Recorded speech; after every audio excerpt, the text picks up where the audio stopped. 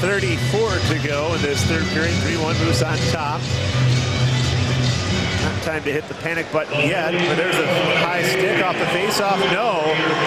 And play continues. Oystrick the high stick. Now is going to take a penalty as he goes in. Bolduc and they have a fight. Oystrick and Bolduc. Oystrick landing some laughs with his parents in the building. Bolduc comes back with a couple of rights. Both lids are off now and a pretty good scrap. Tough customer too. They missed him dearly in the playoffs last year in the finals, but Nathan Oyster, we've seen him dangle the fisticuffs. Now just holding on for dear life. Yeah, isn't he?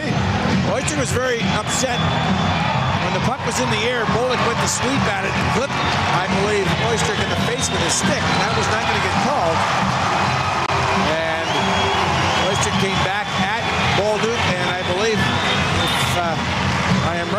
Nathan Oyster will get an extra two. Yeah, you see that. That's clip we definitely see. Nothing was called. The play's still going on. Oyster says, I got to get back. And then he decapitates with an elbow Bolduc. The initial penalty, and then uh, pretty good lefts by Oyster. He had to switch up. And they were. They put the replay up on the big board where I think the line staff saw What happened? what happened, Yeah. and now Francois Charon, the referee, is talking to his line staff. Well, they're not supposed to do that.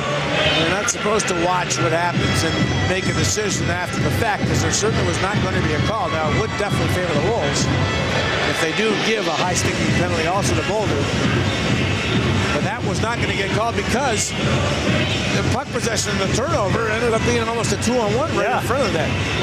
Otherwise, they would have called that immediately. It should have been a call immediately for a high stick. It was not noticed by the official. Play resumed, and they have called it even now. So Yep. there's a bit of a makeup call after missing the initial one.